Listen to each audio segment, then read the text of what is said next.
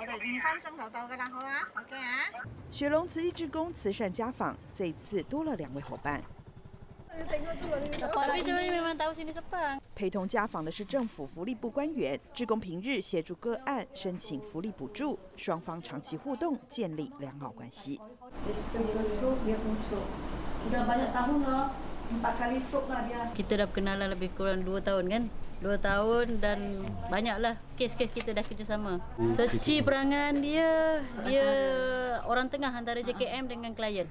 Banyak membantu dengan kita lah. So dia memang refer kes yang betul-betul memerlukan bantuan. Sebab JKM dia tak mampu untuk berjalan cari kes. So Seci yang membantu kita. Sebab dia tak faham bahasa Melayu, macam isi borang macam mana, terangkan pada pada klien. Itulah banyak bantu kami lah untuk uh, especially klien uh, Cina. Sekarang sudah tak tak bekerja. 职工与官员一起入人群，实地了解弱势家庭的需求，为他们递上实质温暖的帮助。